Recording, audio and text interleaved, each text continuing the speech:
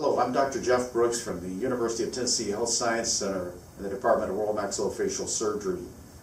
Uh, an increasing number of practitioners are placing implants uh, following extraction or the immediate placement of implants uh, following extraction and that's become a very popular procedure uh, and it's very advantageous for patients and for the practitioner. It shortens the duration of the treatment time uh, for uh, the patient in terms of getting their final restoration. And that can be somewhat challenging at times because one of our goals prior to even being able to place the implant is to be able is to maintain the integrity of the extraction site, maintain the four bony walls around the the, the uh, extraction so that we can immediately place the implant. Traditional methods of elevation, luxation, and removing the tooth with dental forceps have been somewhat challenging and unpredictable. They can be very unpredictable in that many times you have to drill uh, and remove a substantial amount of bone around the extraction site,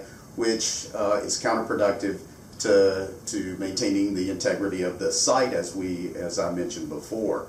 So we have now uh, been armed with the ability to use the the Acteon piezo surgical instrument and uh, that has been again a game changer for us and that it has allowed us to use uh, what is a very effective uh, treatment modality to go circumferentially around the tooth and use the, the very thin uh, slim tips to, to break up the PDL at, around the tooth and then simply remove the tooth very atraumatically, maintain that integrity and health of the extraction site. We found the uh, predictability of, of the uh, being able to proceed with immediate implant, implant placement has increased substantially and our overall health uh, of the site and the uh, predictability of long-term results of uh, osseointegration of our implants and being able to proceed with restoration has improved dramatically.